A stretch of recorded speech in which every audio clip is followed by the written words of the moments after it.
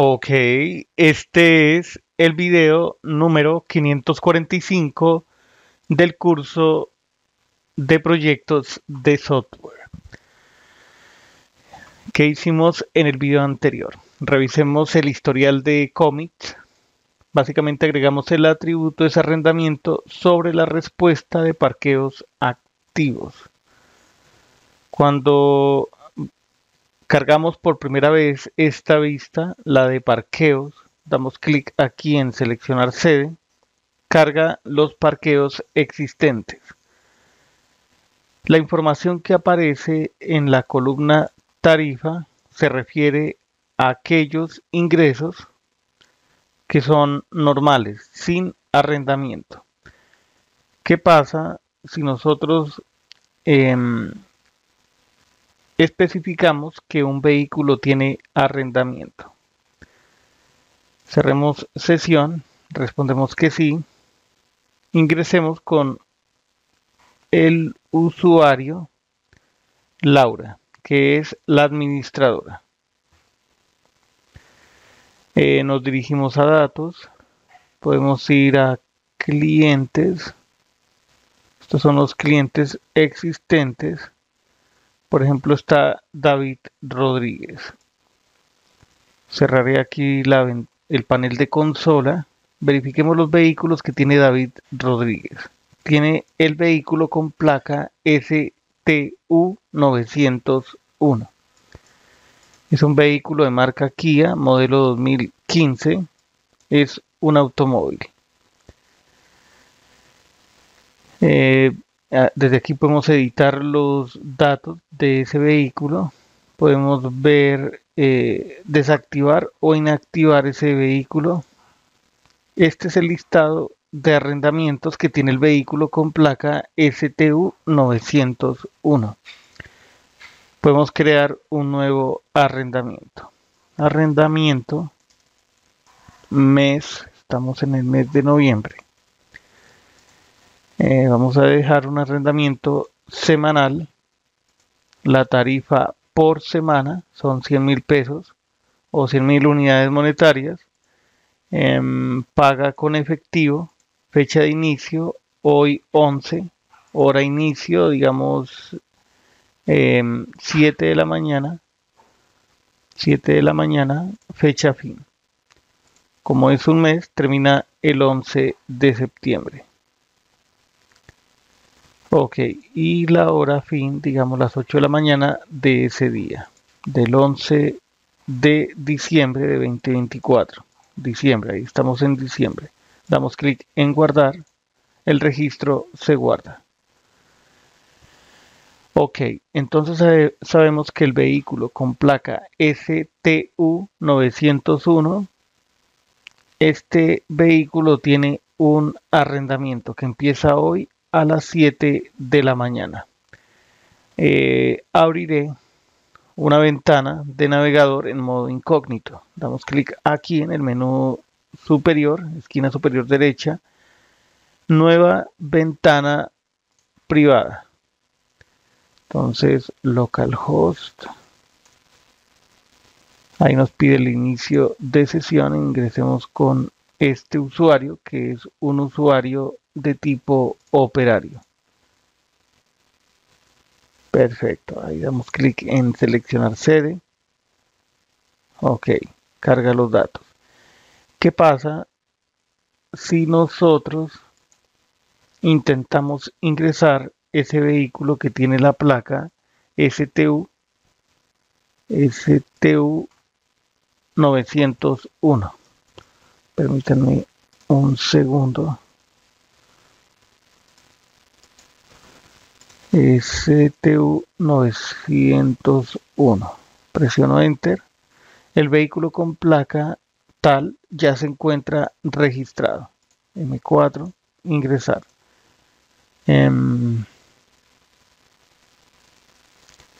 Entonces indiquemos por qué nos pide eh, seleccionar opción. Si ya está, ya existe el vehículo, ¿por qué aparece esto? No debería aparecer. Selecciona una opción, tipo de vehículo, digamos camioneta. Luego la opción seleccione tarifa cancelar. No. El vehículo ya tiene, em, primero que todo, ya tiene eh, un tipo. Si verificamos acá, ese vehículo, cerremos esta, este modal, ese vehículo es de tipo automóvil. Y podemos verificarlo en la base de datos. Entonces, abramos eh, SQLite, DB Browser for SQLite. Aquí está. Ahí está. Eh, listo. STU, el ID de vehículo 2. Y si verificamos en la tabla vehículo tipo, el 2 es un automóvil. Está bien, entonces si aquí hacemos el ingreso, no debería eh, pedir este dato, porque ya lo tiene asignado.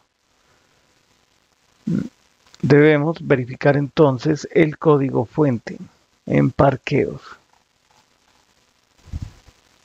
Cuando se finaliza el ingreso vehículo, mm, esto ya es para realizar en sí el ingreso, ya existe vehículo. Creo que aquí hay que buscar no por placa, sino por vehículo, porque cuando hacemos uso del local storage, observemos, aquí, em, cuando encontramos el vehículo, lo almacenamos en la llave vehículo. Placa, CD módulos, BTN ingresar, Hay una llave que es, a ver, vehículo.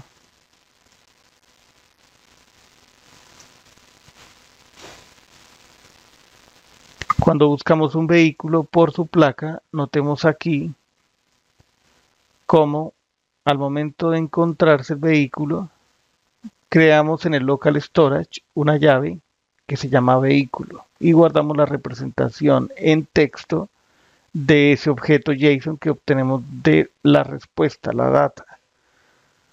Perfecto. Entonces, ya sabemos que se llama vehículo.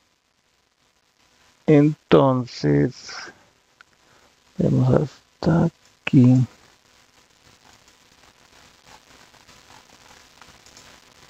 Aquí buscamos por vehículo, que sí existe cuando el vehículo existe. O sea, esta llave es consecuencia de la existencia del vehículo en la base de datos.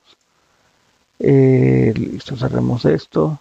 Aunque aquí si escribimos STU 901, STU 901, dice que ya existe. Eh, damos clic aquí en ingresar, vuelve y aparece. Mm, ya sé qué pasa. Cerremos esto, control shift R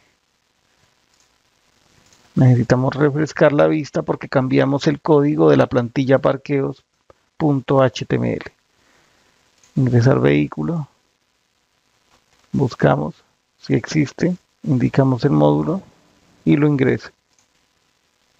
Cerramos, pero no aparece acá. ¿Habrá algún error? Abramos la consola. No, no hay. Si refrescamos esta vista, a ver, tampoco aparece el vehículo acá. Algo pasa. Vayamos a sources.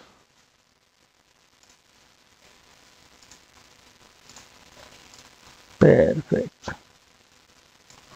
Verifiquemos la base de datos. A ver si el parqueo se ingresó. No no se ha ingresado.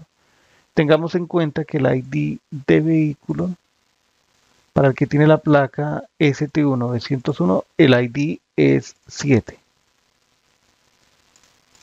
Y aquí no hay ningún valor 7 en la columna vehículo ID. 9, 10, 11, no está el 7.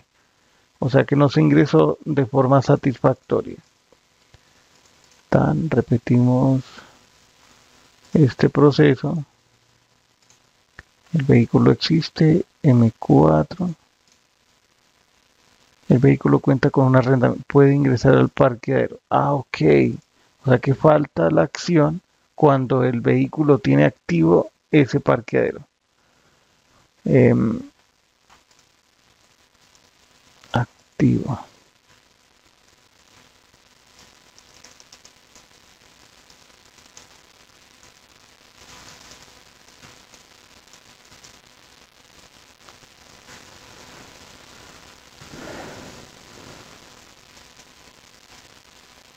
No está realizando el ingreso. A ver, quiero verificar algo. El vehículo con placa STU ya se encuentra registrado. El vehículo con un arrendamiento, el, el vehículo cuenta con un arrendamiento activo. Puede ingresar al parqueadero. Arrendamiento activo. Arrendamiento activo. Mm, ya sé qué pasa. Em, tiene arrendamiento. Ingresar vehículo.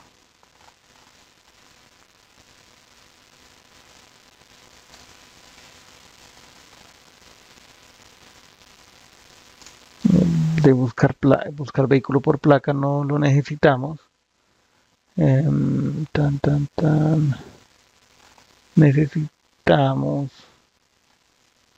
la sección ese texto viene desde aquí.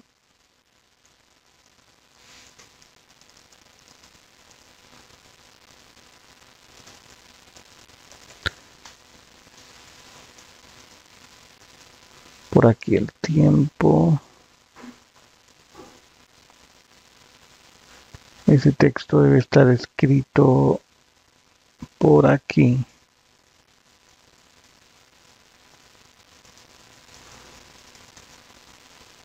Activo. El vehículo cuenta con un arrendamiento activo. Esto es cuando se intenta hacer el ingreso. O sea que en la vista, aquí en parqueos.html, antes de continuar, a ver, ingresar verifiquemos el bloque de código. Aquí está. Entonces eh, no ingresa aquí ingresa al bloque else se va a finalizar ingreso vehículo. Em, ok verifica que se haya escogido un módulo, luego hace este intento de ingreso. Cuando tiene arrendamiento, hace lo siguiente y termina la ejecución. No se agrega, em, no se agrega el vehículo a la tabla. Esto es lo que hace falta, es lo que debemos adaptar, llamar esa función desde aquí. Y obviamente, bueno, va a recuperar tenemos la placa, el tipo de vehículo, este tipo de vehículo mm, lo recuperamos desde aquí.